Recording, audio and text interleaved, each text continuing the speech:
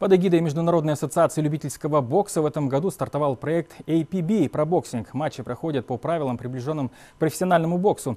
В Казахстане проходят бои весовой категории до 60 килограммов. Завтра, 21 ноября, пройдет очередной тур. В Астане встретятся 8 титулованных боксеров из разных стран мира. Поединки будут состоять из 6 раундов. Нашу страну в этой весовой категории представляет бронзовый призер чемпионата мира Берег Абдрахманов. Соперником Берега выступит а, филиппинский боксер Чарли Суарес. Это не первая их встреча. В прошлом году они скрестили перчатки на президентском турнире в Астане.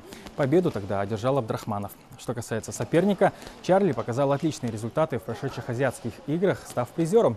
В первом туре APB Абдрахманов записал на свой счет победу над экс-чемпионом Европы Дэвидом Джойсом. И в этот раз Берег готов бороться за победу.